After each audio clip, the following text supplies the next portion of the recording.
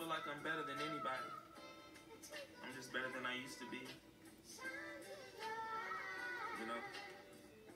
And that don't mean life's perfect, you know, not at all. Not at all. I still have those days where it rains, you know? Really thunderstorms and hurricanes. Yeah. And my depression be like sleep all day, lay awake at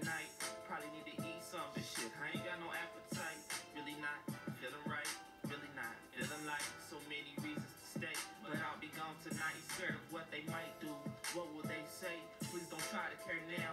Damn, it's really too late. I think I made a mistake when I let them get close. I'm rolling Dutchess to coke. The real reasons I smoke.